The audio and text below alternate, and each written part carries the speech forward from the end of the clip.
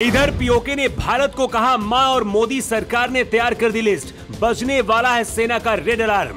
पाकिस्तान छोड़कर भागे अमीर आदमी। 10 लाख लोग अचानक से हुए गायब। भारत की तैयारी देख दुनिया डरी।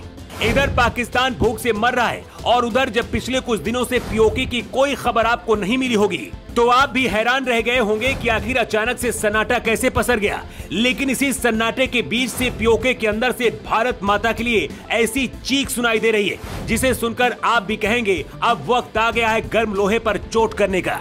इधर पीओके ने भारत को माँ कहकर पुकार लगाई और पीएम मोदी ने खुफिया लिस्ट तैयार कर ली। भारत की सेना तो पहले से ही तैयार है दावा किया जा रहा है कि कभी भी सेना का रेड अलर्ट अब जारी हो सकता है। एक खुफिया रिपोर्ट में दावा किया गया है कि पाकिस्तान छोड़कर वहाँ के अमीर लोग भागने लगे। पाकिस्तान में इस वक्त ज़्यादातर लोग ऐसे बचे हैं जो गरीब हैं जिनके पास पैसा नहीं है और कहीं जा नहीं सकते हैं। बताया जा रहा है कि 10 लाख लोग पाकिस्तान से अचानक से गायब हुए लेकिन इसके पीछे की कहानी और सच क्या है, चलिए आपको बताते हैं। पीओके के अंदर से इस वक्त वहाँ के लोग भारत को मदर इंडिया और माँ कहकर चिल्ला रहे हैं। ये है पीओके के सबसे बड़े एक्टिविस्ट अमजद अयूब मिर्ज़ा। जिन्होंने एक वीडियो जारी करके भारत को माँ और मदर इंडिया कहकर आवाज़ लगाई है।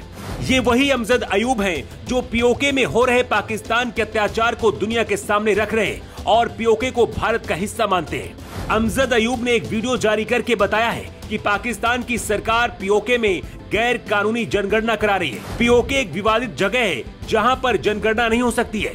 पाकिस्तान की इस कदम की वजह से पीओके के लोग अब चिल्ला चिल्ला कर कह रहे हैं कि हम पाकिस्तानी नहीं है, हमको जल्द से जल्द भारत माता के साथ मिलना है। अब इसी बीच मोदी के हनुमान अजीत डोभाल ने खुफिया एजेंसियों के साथ मिलकर पीओके में बैठे आतंकियों की एक लिस्ट तैयार की है। भारतीय सेना के खुफिया सूत्रों के मुताबिक, सेना फिर से सर्जिकल स्ट्राइक करने की तैयारी कर रही है और कभी भी सेना का रेड अलार्म बज सकता है। बात सिर्फ़ इतनी सी नहीं है। इसी हफ़्ते अमेरिका ने भी दावा किया है कि भारत पाकिस्तान के खिलाफ कोई बड़ा एक्शन लेने की तैयारी कर रहा है। लेकिन इस सबके बीच पाकिस्तान से अमीर लोग क्यों भाग रहे हैं? और अचानक से दस हज़ार लोग कहाँ गायब हो गए हैं? अब चलिए इसके बारे में भी आपको बताते हैं। जिस तरह के हालात है, पाकिस्तान के लोग अब ये कह रहे हैं कि पाकिस्तान जिंदाबाद का नारा लगाने का वक्त अब नहीं बचा, बल्कि पाकिस्तान से ज़िंदा भागने का वक्त है। इसका खुलासा बड़ी कार कंपनी होंडा कार्स की एक रिपोर्ट से हुआ है। पाकिस्तानी मीडिया के मुताबिक, इस कार कंपनी ने पाकिस्तानी स्टॉक एक्सचेंज को एक नोट लिखा है और कहा है कि हम गाड़ियों का प्रोडक्शन बंद करने जा रहे हैं, क्योंकि यहाँ पर अमीर आदमी नहीं बचे हैं। जानकर आप भी हैरान रह जाएँगे कि भारत में जो कार इस वक्त 20 लाख में मिल रही है, महँगाई की वजह से उसकी कीमत पाकिस्तान में 40 लाख हो गई है।